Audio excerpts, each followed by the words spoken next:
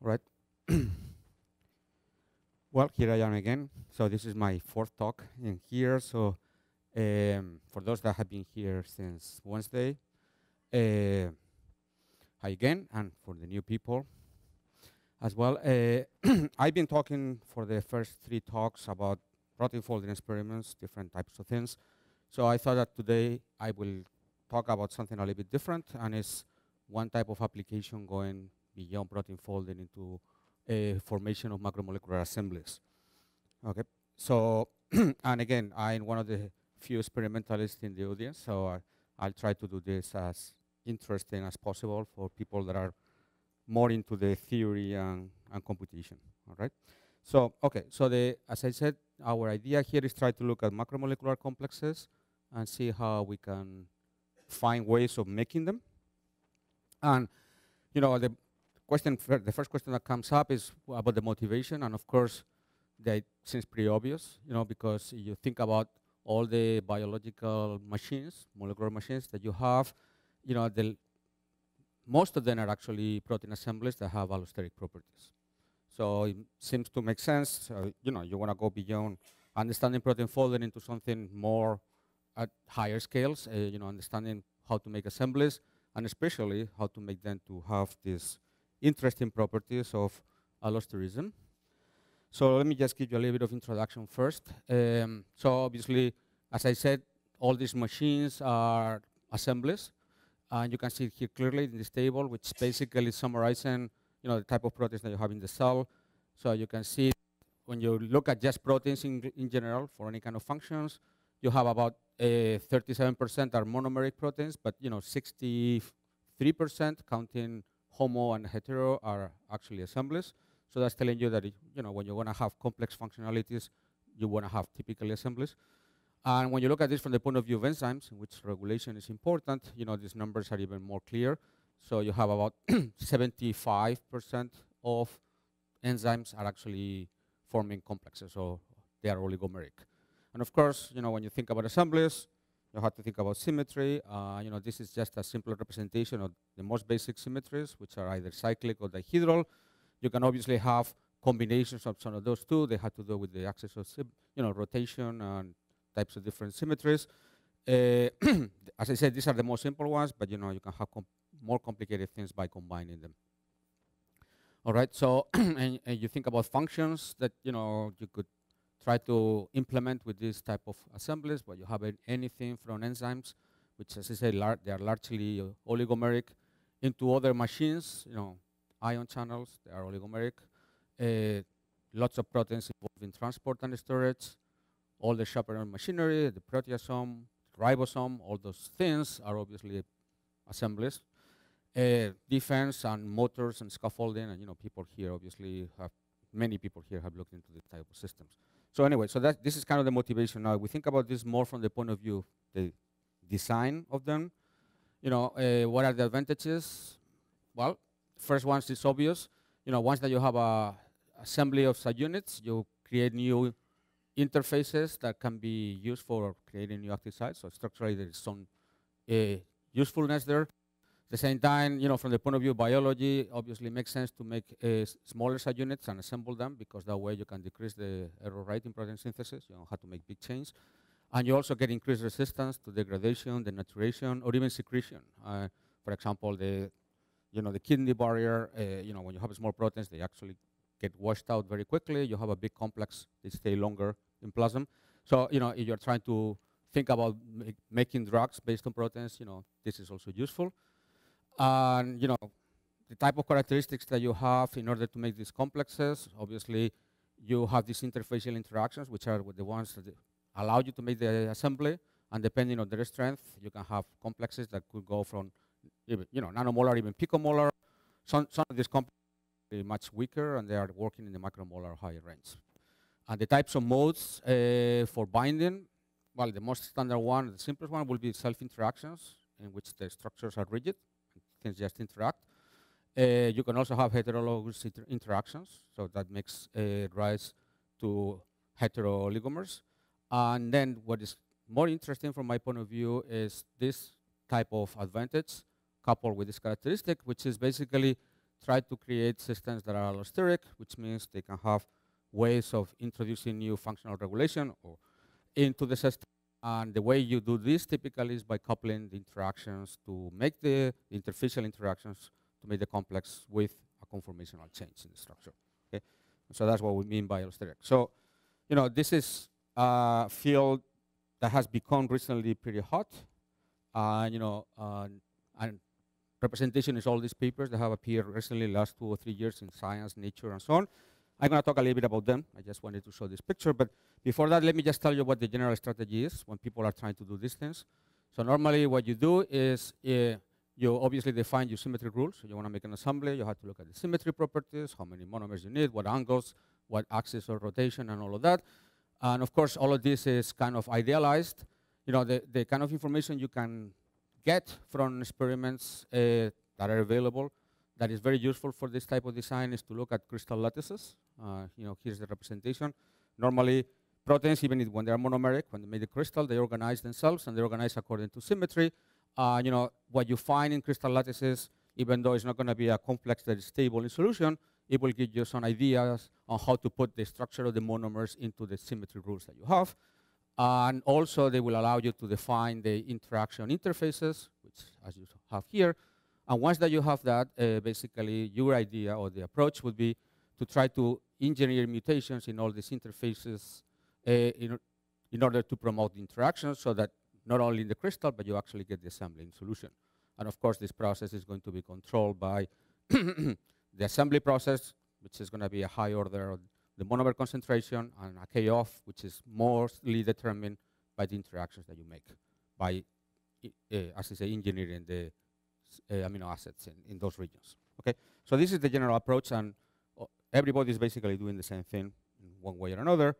Now, uh, in terms of assemblies, you know, there was a, a, lot of interest on this in the early 90s, and people were just using the most simple possible structure, which is the Leucine zipper. And you know, it's nice to use Leucine zippers because you know there's two helices. They they have this heptad symmetry in which you have the uh, leucines in, uh, imbricating with one another from one helix to the other, and you know this defines this type of arrangements in which you can have the parallel one, which residues in the D position are interacting and in the A position are interacting, and this defines a little bit of the core, right? And then you have the G to E and E to G interactions that are typically used for defining is the specificity and typically uh, the type of stoichiometry that you have, right? So people were doing lots of experiments with peptides that were only one helix, and they would make uh, dimeric uh, structures like this, or trimeric or tetrameric, depending on the particular in interactions defining these positions by the sequence. And then you do anti-parallel, you have a little bit of a different arrangement in which the interactions here go A, a to D and D to A. Okay, so all of this is the classical stuff in the 90s you know, people more recently were able to actually go from this type of arrangements into something larger, like a seven mer, uh, which has this cyclic structure. And as I said, this is the most basic things. Now, other other kind of attempts to create assemblies has been to use, you know, trying to use this domain swapping idea. And I'm going to talk a little bit more about this in, in a little bit.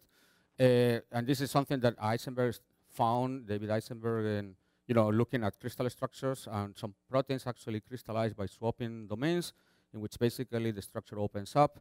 You open, you know, you create new interfaces because the protein has been designed to fold this way anyway, and that way you can make dimers or filaments. It's much harder to actually produce a kind of globular big assembly, symmetric assembly with this type of structure or this type of mechanism. Sorry.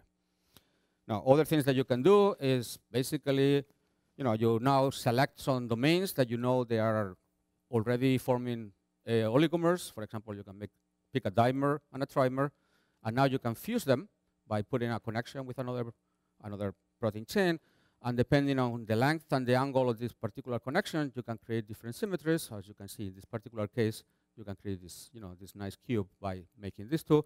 And this is in a way copying what viruses do, right? Uh, you know, there are some more examples like this, and you, know, you can see that you know people are now all of a sudden very interested in these things.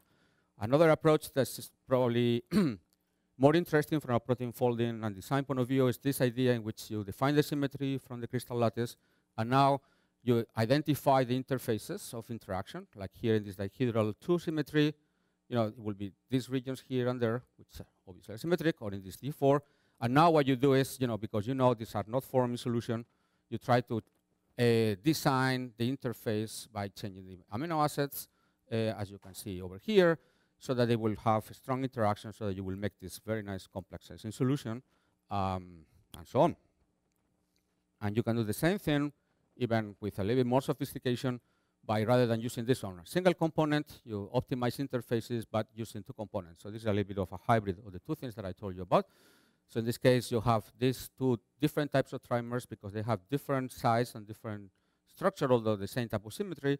You can actually uh, design the interface, as you see. You know, these are things that don't interact. They don't have anything to do with one another. But once you define the symmetry and you put them in the right positions, you know, you see there is nothing here making them interact, but now you start changing the amino acids over there so you create the interface, and that will basically end up making something presumably stable in solution. Uh, you know, these are nice examples of that.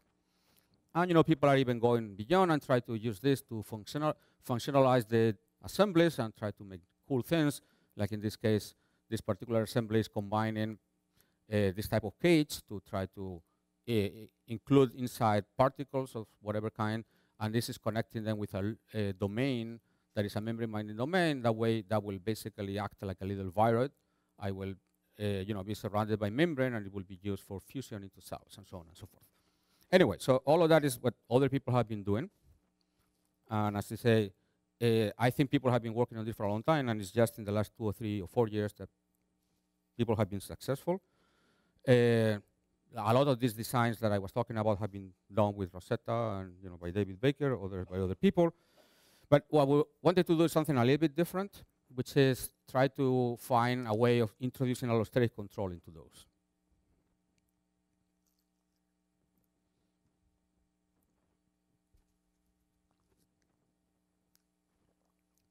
And the idea is really simple, which is, you know, we start from where we were in terms of designing uh, assemblies, which is, you know, the crystal lattice to give us something about symmetry. Now we have a native monomer. And rather than thinking about this like a rigid object, now we know this monomer can fold and unfold. And in the process of doing this, it's going to obviously, depending on the mechanism, is going to produce intermediates that may not be stable particularly, but they may have interfaces that are more prone for assembly than the monomer by itself, because normally monomers are designed to be monomeric. So this is kind of the idea. So in principle, if we can manipulate this process, we may be able to find intermediates in which, in this example, you see this little part is coming off. So, and then now you create a binding interface, and the binding interface is naturally going to be prone for uh, assembly because that's what it does in the monomer as well. And then you can get an assembly uh, that is going to be stabilized by the same type of interactions, and also, you know, for the K-off and assembly process is going to be dependent on concentration, but the the difference here now is that you can control the process by acting on these two equilibria. And that will give you opportunities to control this by temperature, by pH, anything that affects this process. Also by binding to effectors, because you could try to define an, an effector that binds to the monomer or to the assembly, and it will go. This will go one way or the other.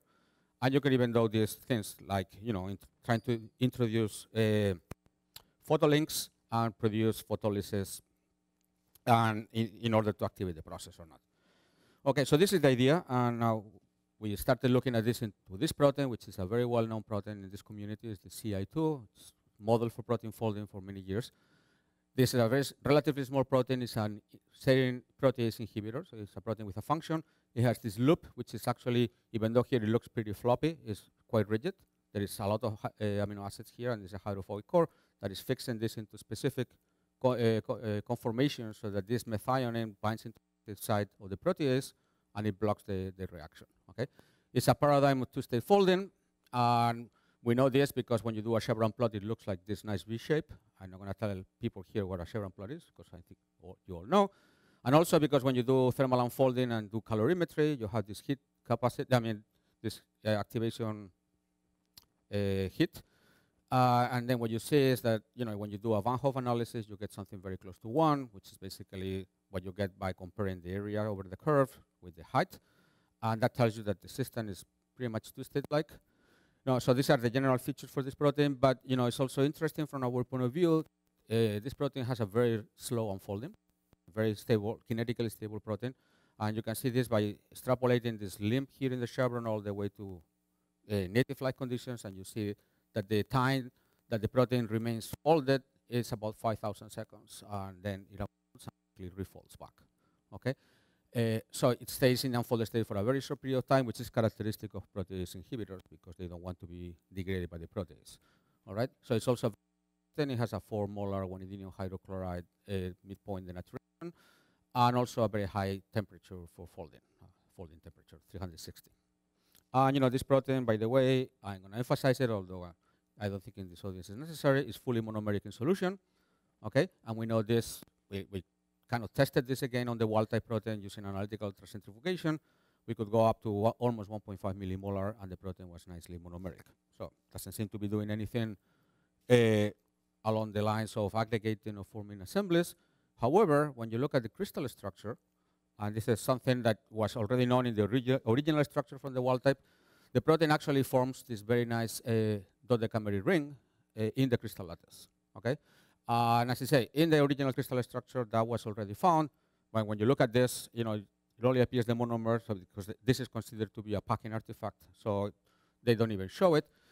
But you know, trying to explore this was a particular condition situation or not, we did crystallography in collaboration with somebody in group uh, that is part of a network that we are as well in Spain. We were doing, uh, you know, trying crystallizing this with many different conditions, and you have here a list of them. And in all these conditions, we found that the protein always crystallizes in the same type of symmetry, same of space group, and in the same type of assembly. Okay, so this seems to be something that even though it doesn't appear in solution, the protein has a natural tendency from the properties of the, of the shape of the molecule, the monomer, to, to make this. Okay, uh, and as I say, it's interesting because uh, there's, there's, two six-member rings that are staggered with, with one another, you, as you can see here in this representation. Now, the other interesting thing is all these conditions are basically using ammonium sulfate as the precipitant in the crystal in crystallization assays. Now, if you try to do the same thing, but now using a PEG, polyethylene glycol rather than ammonium sulfate, you find out that the protein still crystallizes nicely, and it crystallizes with the same space group and the same symmetry, and forming the same type of complex, but now the monomers are actually domain swapping. As you can see here, this is the, the first one I was showing to you before. With these conditions and with these other conditions, what you have now is the, the C-terminal part of the protein is open, and it goes across from one ring to the next to the other one back, and it connects both of them, making this dodecameric structure even more stable. Okay, so this happens in this. All of this is wild-type protein, and all of this is happening uh, depending on the crystallization condition. So what this is telling us is that this structure is kind of uh, written into the shape and the properties, the molecular properties of the monomer, and also that you know there is a possibility, even though the protein is very stable, to domain swap, and this domain swapping tells us that we may be able to do this kind of trick that I was talking about before. Uh, this is just adding polyethylene glycol to the wild type, crystallizes, and it crystallizes domain swapping. And it doesn't matter which other conditions you, you do. All of those are domain swapped. All of these are not domain swapped. Actually, the original, you know, because the original structure was done by Max Perutz, he did some mutants as well, in which he was putting a whole bunch of um, uh, glutamines in a tail because we were interested in this aggregation of the polyglutamines. And then he found that those mutants domain swapped.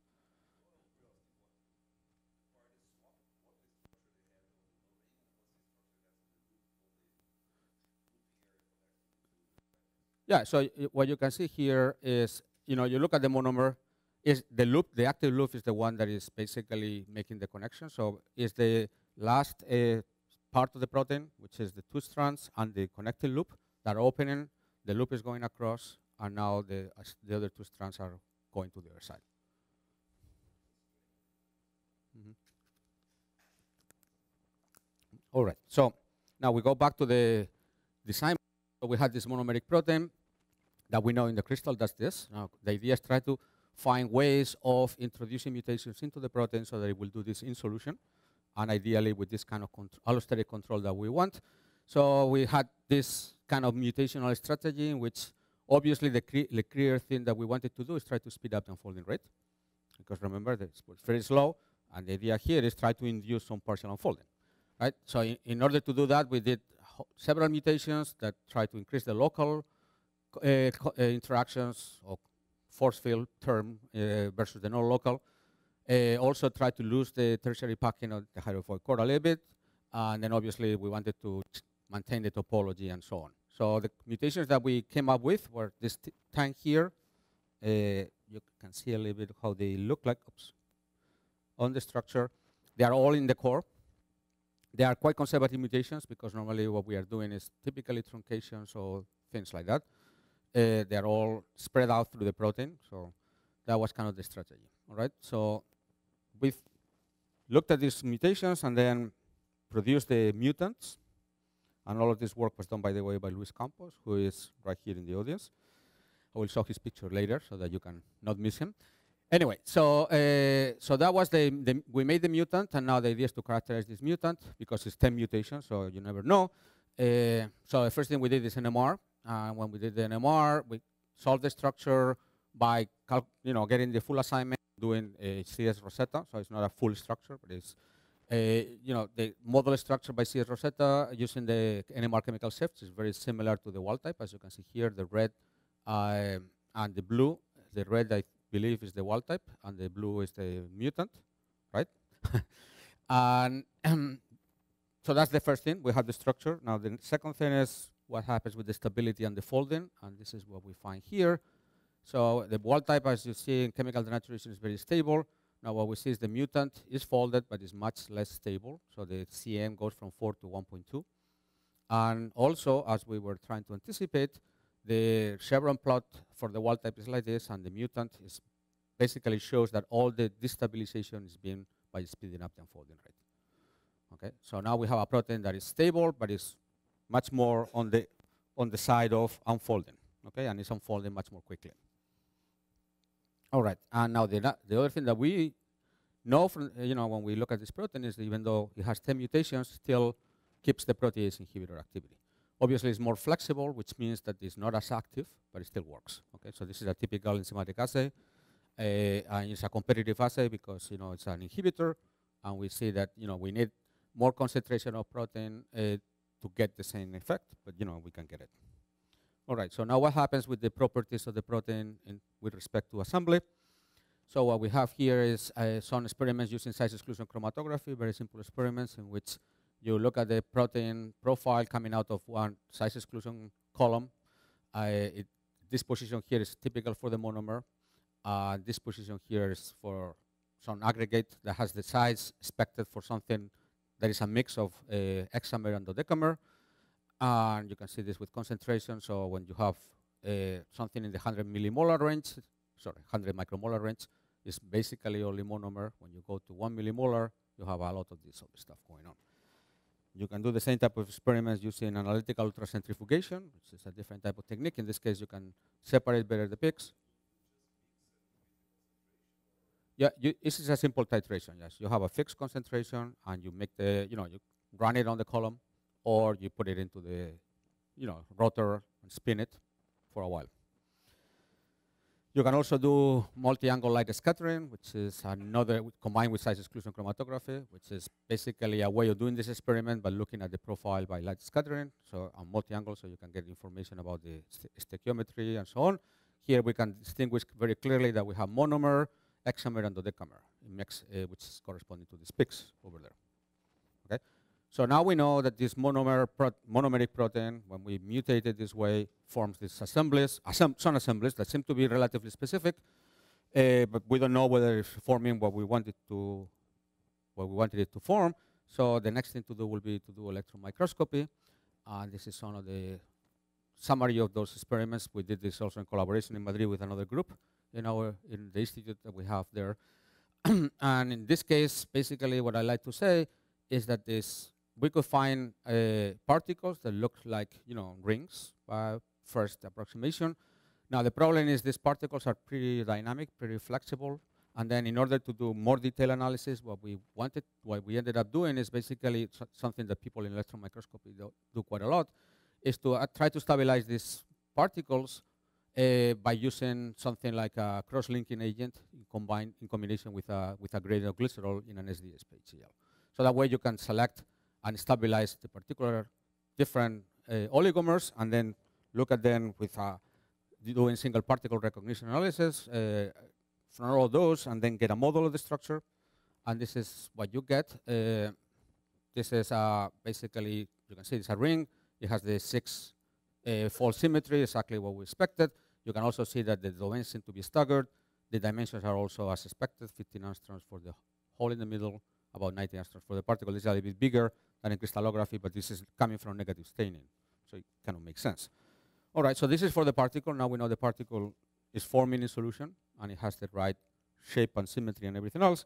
Now, what is going on with the monomer inside? What kind of structure does it have? So here we try to do crystallography, and we tried really hard. I mean, Luis particularly collaboration with our crystallographer group in, in Madrid, but we couldn't crystallize this structure. And the problem is that the, this equilibrium is very dynamic, and there is no way to find conditions that it will crystallize.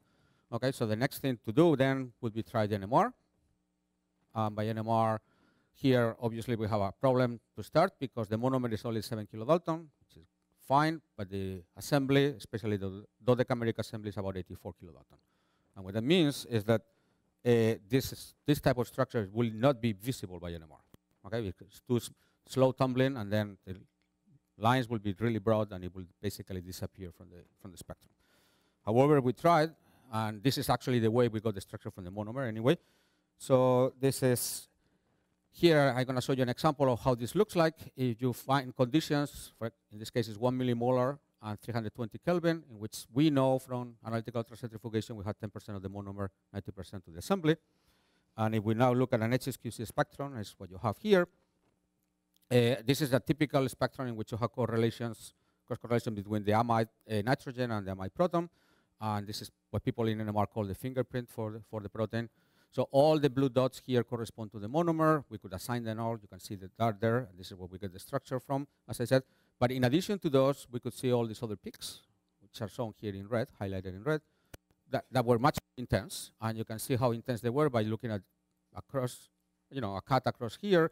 You can see that all the blue peaks are about 10% of the, let's say, 12% of the intensity of the red peaks. Okay, that already hints us that this could be coming from the oligomer. Then when you actually change concentration, so you will shift this equilibrium one way or another, what you do see is that the intensity ratios, they actually track each other. So what that means is that this is definitely coming from the oligomer. Now the question is, how could this be the oligomer? Because we shouldn't be able to see it. And the answer for that is actually that what's going on here is, and you can see it, you know, anybody here that knows a little bit of NMR will realize quickly that all these signals are clustered around 8 ppms. And this is characteristic of random coil values? So all these residues actually have very different chemical shifts in the monomer than in the oligomer. In the oligomer, they are all corresponding to random coil values, which means that basically what's going on here is that when the protein is forming the assembly, this piece of the protein is actually becoming disorganized, disordered. And because it's disordered, you know, you have values that are random coil, but also you get to see them. Because now the complex is moving slowly, but the tail is disorganized and it's flexible, so you get to see that. Okay, and this is where we can get that information. So we cannot solve the structure of the monomer in the complex, but at least we know that what makes the protein form the assembly is actually having this tail, the C-terminal tail, these residues here, coming off the structure. Okay. So that goes into this idea that we had from the beginning. So that's great news. Now, uh, since we couldn't get a structure, now we try to do some modeling and see whether we can get information about this uh, from the molecular point of view, as I said. And then since we knew from NMR that what's going on is that this C-terminal structure, uh, sorry, C-terminal tail is becoming unstructured, what we did is a little computational experiment, which is as you have here, you get the monomer, and then by, you know, we pull this C-terminal away, so the protein has still the same structure. The only thing that we are doing is taking the C-terminus uh, into some unstructured situation. Uh, and we did the same thing with the N-terminus, just as a negative control, because we wanted to see whatever we, we find. You know, it'd be nice if it were specific. And now what we're going to do here is to run some ND, few ND simulations and see whether there is some structural change going on. Okay, and this is the result. So I'm going to start with this one. So when we open the N-terminus, as you can see here, the, you know, and you can see that both the N and the C termini are both strands, and they are both forming part of this four-stranded sheet that you have over here. the C terminus is kind of in between, and the N terminus is on the edge. Okay, so you take the, the N terminus away, you run then these simulations, and what you see is the you know the protein very quickly reorganizes and puts the, the strand back in there, right? So you you go back to a final structure that is very similar to the original one, as you can see here in the RMSD. However, when you do this with the C terminus, as you have here, obviously it's a little bit of a more drastic change because you are making a hole in the center of the protein. But now the protein is undergoing some structural change very quickly, and it does this you know, in several runs. And in that change, what, what happens, as you can see here, is the C terminus remains completely open, and the, C, the, N, the N terminal strand, which is on the edge here, basically moves all the way here to close. And now you have a three-stranded sheet, and you have a, a nice core made, but you have this tail flopping around, okay? So now the structure is different from the original one, and so the next thing to do is to see whether we can model this into the structure of the assembly that we have from crystallography and see whether we can rationalize this, making better interactions. And this is what we did, and what we are showing here. This is the wild-type uh, interface between two monomers in one of the six member rings in the wild-type X-ray structure. And you can see in that structure, the contacts between monomers in the six-member ring, they're actually very weak. Uh, you know, you have these very few contacts, and it's mostly these uh, hydrophobic contacts between this valine 33 in one monomer and the leucine 56 in another one. And that probably explains why when you have this crystal lattice, it forms, but when it's in solution, it's not stable enough. Now, the interesting thing is that now you substitute this protein structure by this model that we got by removing the C-terminal strand. And what we find now is a much, you know, fine conditions. You know, we did all of this by, with Robetta, by the way fun conditions in which we can optimize contacts. Now the interface is a little bit different, and we have many more contacts. And you can see here, even this valine 11 now is surrounded by several hydrophobics. And now what we have is a much more uh, snuggle uh, monomer into monomer interface. Okay, and you know, yes.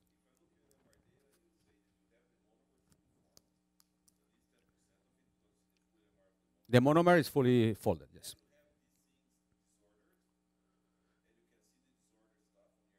Mm -hmm.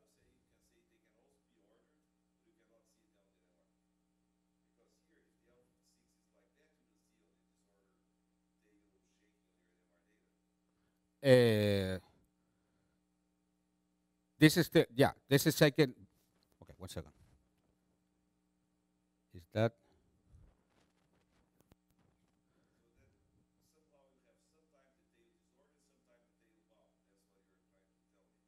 Uh, no, this probably because in the model that we got, this eventually, because we are using Robetta basically stacked in.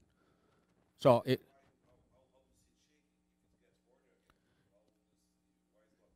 that, that's a good point. I mean, I guess. Yeah, yeah, but but yeah, I know, I know. What what what he's saying is that in the complex structure that we modeled, it's back in. Well, to some degree, right, because it's interacting.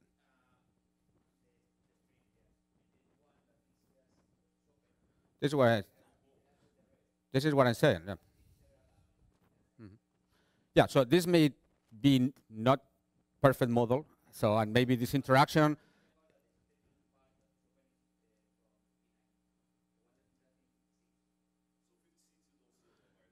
F 56 is right on the interface. It, uh, you know, it's very close.